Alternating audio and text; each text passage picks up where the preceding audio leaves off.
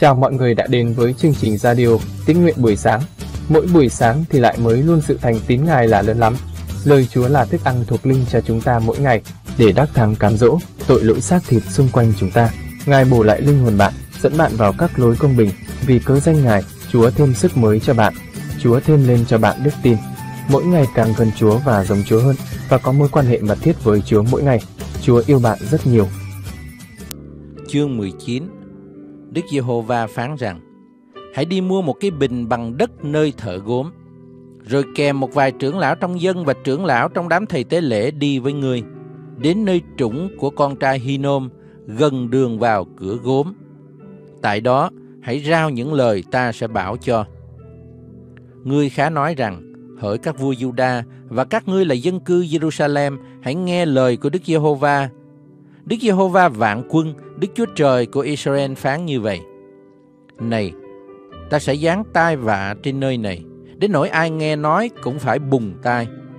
Vì chúng nó đã lìa bỏ ta, đã làm chỗ này nên xa lạ, đã đốt hương ở đó cho các thần khác, mà chúng nó, tổ phụ chúng nó, các vua Juda đều chưa từng biết.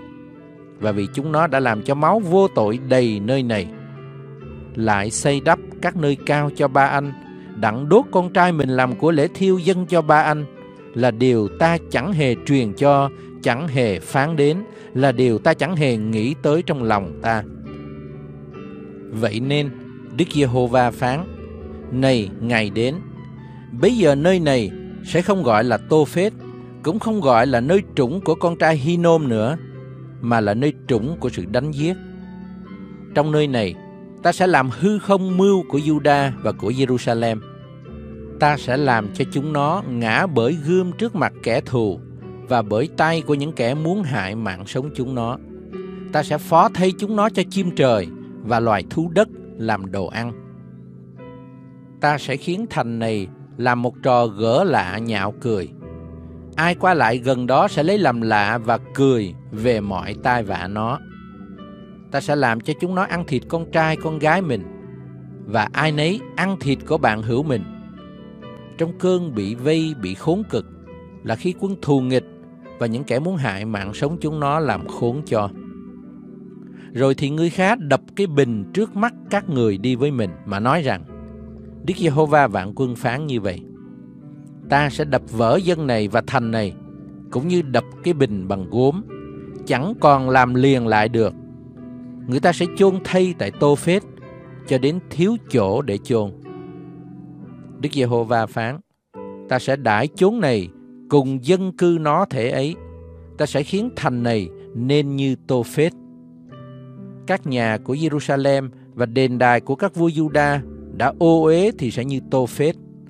Thật, ấy là tại trên mái các nhà đó, người ta đã đốt hương cho mọi cơ binh trên trời và làm lễ quán cho các thần khác.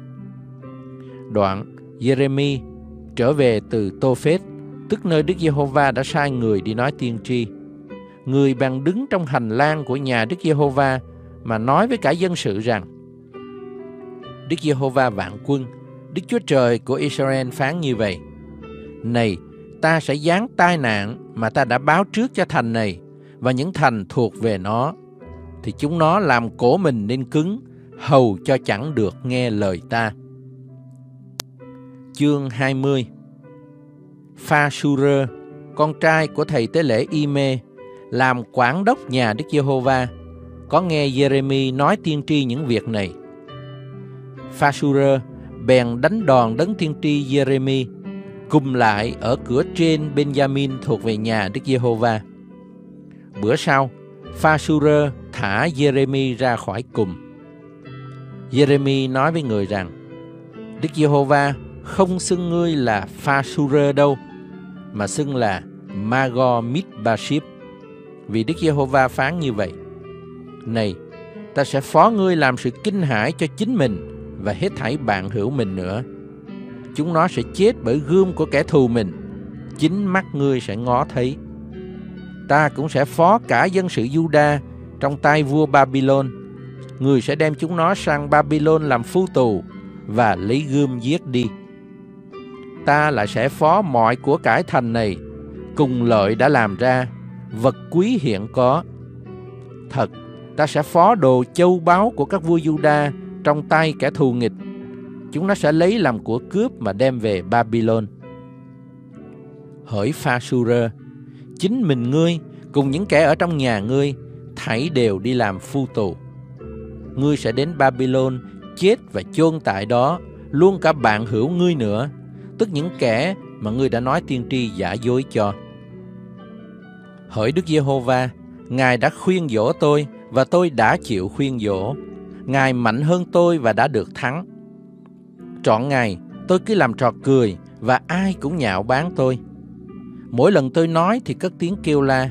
Tôi kêu rằng bạo ngược và hủy diệt vì lời của Đức Giê-hô-va làm cho tôi cả ngày bị sỉ nhục chê cười.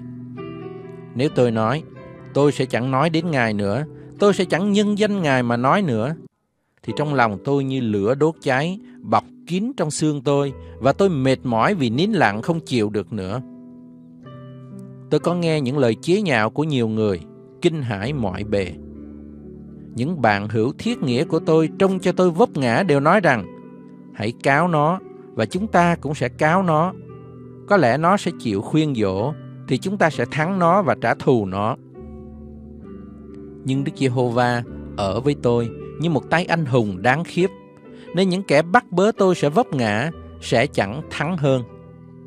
Vì họ ăn ở chẳng khôn, thì sẽ chịu sỉ nhục rất lớn, tức là sự hổ nhục đời đời chẳng hề quên được. Nhưng hỡi Đức Giê-hô-va vạn quân, Ngài là đấng thử người công bình, xem thấu trong lòng, trong trí. Xin cho tôi thấy Ngài báo thù họ, vì tôi đã đem việc mình tỏ cùng Ngài.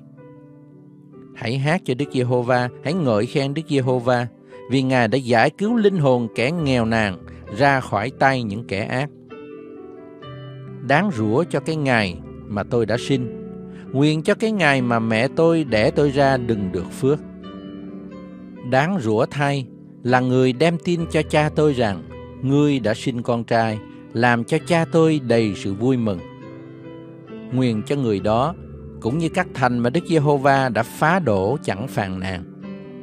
Nguyện cho nó vừa lúc ban mai nghe kêu la, đến trưa nghe kêu lớn tiếng, vì đã chẳng giết tôi từ trong lòng mẹ, thì mẹ tôi đã làm mồ mã tôi và thai lớn luôn luôn.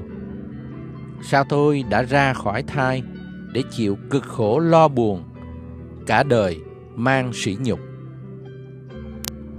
Chương 21 có lời từ nơi Đức Giê-hô-va phán cho Jeremy khi vua Sê-đê-kia sai pha su con trai Man-ki-ya và Sophoni, con trai thầy tế lễ Ma-a-sê-ya đến cùng người, mà rằng Nebuchadnezzar, vua Babylon đến đánh chúng ta, nên hãy vì chúng ta cầu hỏi Đức Giê-hô-va. Có lẽ Đức Giê-hô-va sẽ vì chúng ta làm y theo mọi việc lạ lùng của Ngài cho người lìa khỏi chúng ta. Jeremy đáp rằng, các ông hãy tâu lại cùng CD kia như vậy. Jehovah, Đức Chúa Trời của Israel phán như vậy. Này, những binh khí trong tay các ngươi đang cầm để đánh đuổi vua Babylon và người canh đê hiện vây các ngươi ở ngoài tường thành, thì ta sẽ khiến lui về và thâu lại vào giữa thành này chính ta sẽ chiến đấu nghịch cùng các ngươi, dùng tay giang ra, cánh tay mạnh sức, nổi nóng phát giận và sự thịnh nộ lớn. Ta sẽ đánh dân cư thành này, cả người và vật, chúng nó sẽ chết dịch rất lớn. Đức Giê-hô-va phán, sau đó ta sẽ phó Sê-đê kia vua Juda, tôi tớ và dân nó, tức những kẻ còn lại trong thành, đã tránh khỏi dịch lệ gươm dao đói kém ta sẽ phó chúng nó vào tay Nebuchadnezzar, vua Babylon, vào tay những kẻ cừu thù và những kẻ đòi mạng chúng nó. Nebuchadnezzar sẽ đánh chúng nó bằng lưỡi gươm, không dè tiếc, không áy náy, không thương xót. Ngươi khá nói cùng dân này rằng, Đức Giê-hô-va phán như vậy: Này, ta đặt trước mặt các ngươi con đường sống và con đường chết, Kẻ nào cứ ở lại trong thành này sẽ chết bởi gươm dao, đói kém và ôn dịch. Nhưng kẻ nào ra khỏi, đi sang cùng người canh đê, tức người đang vây mình, thì sẽ sống và sự sống mình sẽ làm của cướp cho mình. Đức Giê-hô-va phán, vì ta để mặt ta trên thành này mà xuống họa cho, chứ không phải xuống phước. Thành ấy sẽ bị phó vào tay vua Babylon, người sẽ lấy lửa đốt đi. Luận về nhà vua Juda, hãy nghe lời của Đức Giê-hô-va. Đức Giê-hô-va phán như vậy: Hỡi nhà David, vừa lúc ban mai, hãy làm sự công bình, hãy cứu kẻ bị cướp ra khỏi tay người ức hiếp. E rằng vì các ngươi làm điều ác mà ta phát giận ra như lửa, cháy không ai tắt được chăng. Đức Giê-hô-va phán: Này, hỡi kẻ ở trong nơi trũng, trên vần đá nơi đồng bằng kia, ta nghịch cùng các ngươi là những người nói rằng ai sẽ xuống nghịch cùng chúng ta, ai sẽ sấn vào nơi chúng ta ở. Đức Giê-hô-va phán: Ta sẽ phạt các ngươi theo quả của việc làm các ngươi. Ta sẽ đốt lửa trong rừng, lửa sẽ nuốt hết mọi vật ở chung quanh nó. Thư gửi cho người Hebrew Chương 1 Đời xưa, Đức Chúa Trời đã dùng các đấng tiên tri phán dạy tổ phụ chúng ta nhiều lần nhiều cách. Rồi đến những ngày sau rốt này, Ngài phán dạy chúng ta bởi con Ngài, là con mà Ngài đã lập lên kế tự muôn vật, lại bởi con mà Ngài đã dựng nên thế gian. Con là sự chói sáng của sự vinh hiển Đức Chúa Trời và hình bóng của bổn thể Ngài. Lấy lời có quyền phép Ngài nâng đỡ muôn vật. Sau khi con làm xong sự sạch tội, bèn ngồi bên hữu đấng tôn nghiêm ở trong nơi rất cao. Vậy, được hưởng danh cao hơn danh thiên sứ bao nhiêu, thì trở nên cao trọng hơn thiên sứ bấy nhiêu. Và Đức Chúa Trời há có bao giờ phán cùng thiên sứ nào rằng Ngươi là con ta, ngày nay ta đã sanh ngươi Lại há có khi nào phán ta sẽ làm cha người, người sẽ làm con ta còn khi Ngài đưa con đầu lòng mình vào thế gian thì phán rằng mọi thiên sứ của Đức Chúa Trời phải thờ lại con. Nói về thiên sứ thì Ngài phán rằng Đức Chúa Trời làm cho thiên sứ Ngài như gió và tôi tớ Ngài như ngọn lửa. Nhưng nói về con thì lại phán rằng Hỡi Đức Chúa Trời, ngôi Chúa còn mãi đời nọ qua đời kia. Quyền bính của nước Chúa là quyền bính ngay thẳng. Chúa ưa điều công bình, ghét điều gian ác. Cho nên, hỡi Chúa, Đức Chúa Trời của Chúa lấy dầu vui mừng sức cho khiến Chúa trỗi hơn kẻ đồng loại mình. Lại có phán, hỡi Chúa, ban đầu trước hết Chúa đã dựng nền đất và các tầng trời cũng là công việc của tay Chúa. Trời đất sẽ hư đi, nhưng Chúa hằng có. Trời đất sẽ cũ đi như cái áo, Ngài sẽ cuốn nó lại như cái áo choàng. Rồi trời đất sẽ biến đổi, nhưng Chúa vẫn y nguyên. Các năm của Chúa không hề cùng. Đức Chúa Trời há có bao giờ phán cùng thiên sứ nào rằng, hãy ngồi bên hữu ta, cho đến chừng nào ta để kẻ thù nghịch làm bệ dưới chân ngươi? Các thiên sứ há chẳng phải đều là thần hầu việc Đức Chúa Trời, đã được sai xuống để giúp việc những người sẽ hưởng cơ nghiệp cứu rỗi hay sao? Chương 2 Vậy nên, chúng ta phải càng giữ vững lấy điều mình đã nghe e kẻo bị trôi lạc chăng vì nếu lời thiên sứ giao truyền đã vững chắc và sự trái phép nghịch mạng đã được báo ứng xứng đáng rồi. Mà nếu ta còn trễ nải sự cứu rỗi lớn dường ấy, thì làm sao tránh cho khỏi được? Là sự cứu rỗi Chúa truyền ra trước hết, rồi có những kẻ nghe chứng nghiệm nó cho chúng ta. Đức Chúa Trời cũng dùng những dấu kỳ sự lạ và đủ thứ phép màu, lại dùng sự ban cho của Đức Thánh Linh mà Ngài đã theo ý muốn mình phát ra để làm chứng với các kẻ đó. Và thế gian hầu đến mà chúng ta nói đó, Đức Chúa Trời chẳng từng khiến nó phục dưới quyền các thiên sứ. Nhưng có kẻ đã làm chứng rằng, Loài người là gì mà Chúa nhớ đến? Con loài người là ai mà Chúa săn sóc đến? Chúa đã đặt người ở dưới thiên sứ một chút, Cho người đội mão triều vinh hiển tôn trọng Và đặt mọi vật dưới chân người. Đức Chúa Trời đã khiến mọi vật phục Đức Chúa Giêsu như vậy thì chẳng để cho một vật nào chẳng phục Ngài. Song hiện nay chúng ta chưa thấy mọi vật phục Ngài. Nhưng Đức Chúa Giêsu này mà đã ở dưới các thiên sứ một chút, chúng ta thấy Ngài. Vì sự chết Ngài đã chịu được đội mão triều vinh hiển tôn trọng. Ấy vậy, bởi ân điển của Đức Chúa Trời, Đức Chúa Giêsu đã vì mọi người nếm sự chết. Thật, đấng mà muôn vật hướng về Ngài và bởi Ngài, vì muốn đem nhiều con đến sự vinh hiển, thì đã khiến đấng làm cội rễ sự cứu rỗi của những con ấy nhờ sự đau đớn mà nên trọn lành là phải lắm. Vì đấng làm nên thánh và kẻ được nên thánh đều bởi một cha mà ra. Cho nên Ngài không thẹn mà gọi những kẻ đó là anh em khi Ngài có phán. Tôi sẽ truyền danh Chúa cho anh em tôi và ngợi khen Chúa ở giữa hội. Ngài lại phán, ta sẽ phó thác ta cho Chúa. Lại phán, ta đi, ta với các con cái mà Đức Chúa Trời đã ban cho ta. Vậy thì, vì con cái có phần về huyết và thịt, nên chính Đức Chúa Giêsu cũng có phần vào đó. Hầu cho Ngài bởi sự chết mình mà phá diệt kẻ cầm quyền sự chết là ma quỷ, lại cho giải thoát mọi người vì sợ sự chết bị cầm trong vòng tôi mọi trọn đời. Vì quả thật, không phải Ngài đến vùa giúp các thiên sứ, bèn là vùa giúp dòng dõi của Abraham. Nhưng đó, Ngài phải chịu làm giống như anh em mình trong mọi sự, hầu cho đối với Đức Chúa Trời, trở nên thầy tế lễ thượng phẩm, hay thương xót và trung tín, đặng đền tội cho chúng dân. Và vì chính mình Ngài chịu khổ trong khi bị cám dỗ, nên có thể cứu những kẻ bị cám dỗ vậy.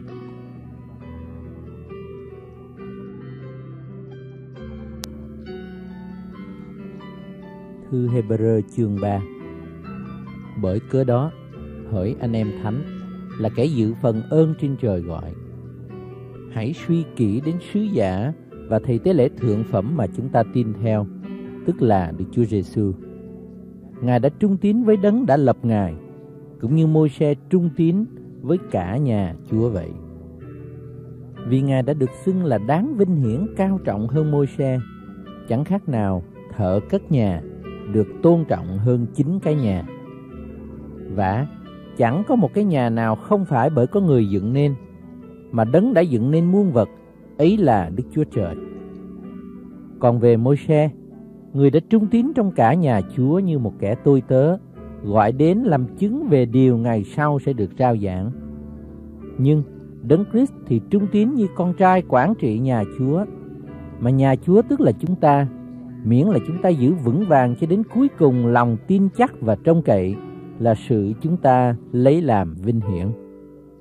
Cho nên, như Đức Thánh Linh phán rằng, Ngày nay, nếu các ngươi nghe tiếng Ngài, thì chớ cứng lòng như lúc nổi loạn là ngày thử Chúa trong đồng vắng.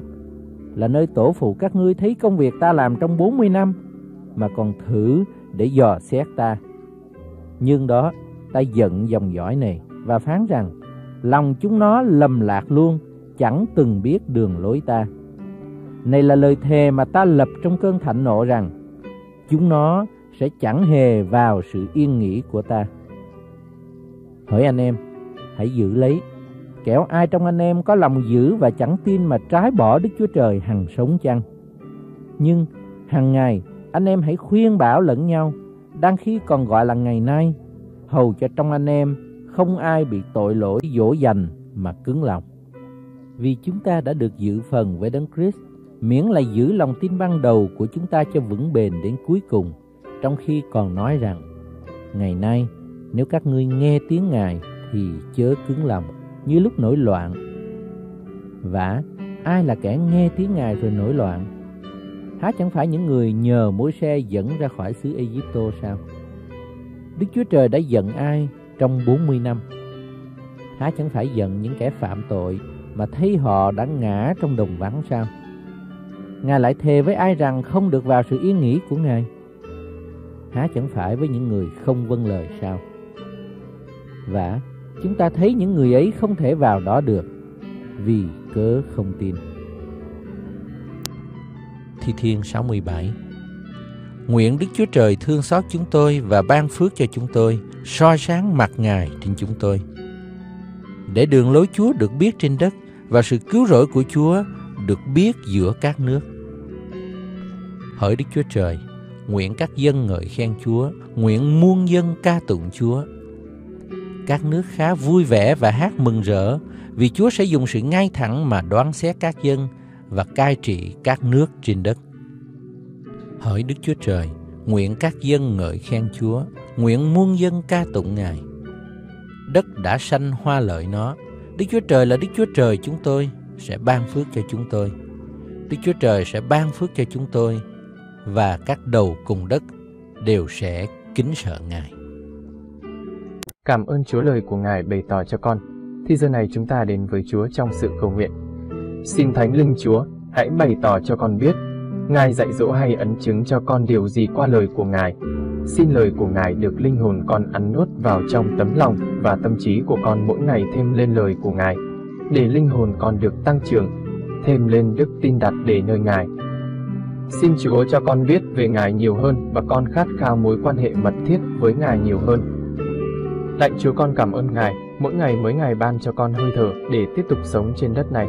Con nguyện huyết báo của Chúa Giêsu Christ thanh tẩy, tẩy sạch, bôi xóa những suy nghĩ, tư tưởng, hành động trong tâm trí, trong tấm lòng của con như ấy là gian dâm, ô uế, lung tuồng, thờ hình tượng, phù phép, thù oán, tranh đấu, ghen ghét, buồn, giận, cãi lẫy, bất bình, bè đảng, ganh gổ, say xưa, mê ăn uống, cùng các sự khác giống như vậy. Con nguyện xin dòng huyết báo của Ngài tẩy sạch bôi xóa sự xác thịt của con không đẹp lòng Ngài ra khỏi con ngay giờ này. Bây giờ con được thánh sạch đứng trước mặt Ngài. Chúa ơi xin hãy cáo trách và thanh tẩy khi môi miệng con nói điều dơ giấy không đẹp lòng Ngài. Xin Chúa hãy thêm sức và hướng dẫn con ăn, hoặc uống, hay là làm sự chi khác, hãy vì sự vinh hiển Đức Chúa Trời mà làm. Xin Chúa thêm lên cho con đức tin để mỗi ngày con trong cậy nơi Chúa càng hơn.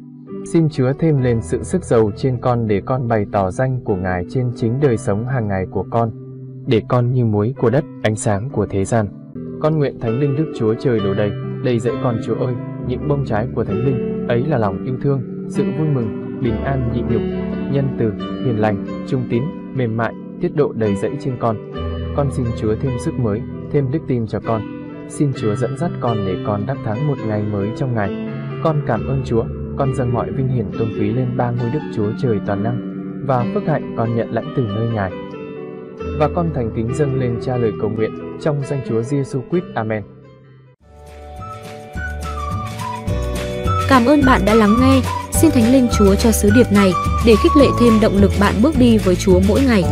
Mọi đóng góp, ý kiến hay góp phần dâng hiến cho chương trình, xin gửi về gmail dưỡng linh cơ đốc 2020a gmail.com. Bạn ủng hộ chương trình bằng cách chia sẻ chương trình rộng rãi trên mạng Internet cộng đồng xã hội. Hẹn bạn dưỡng linh hàng ngày tiếp theo. Chúa yêu bạn rất nhiều.